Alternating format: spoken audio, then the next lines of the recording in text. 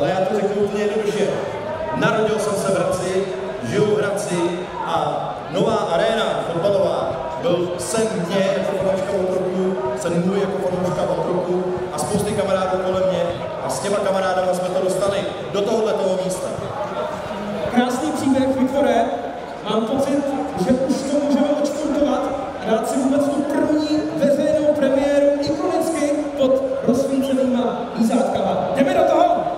pravdu, tohle je úplná premiéra, ještě ji nikdo neslyšel celou.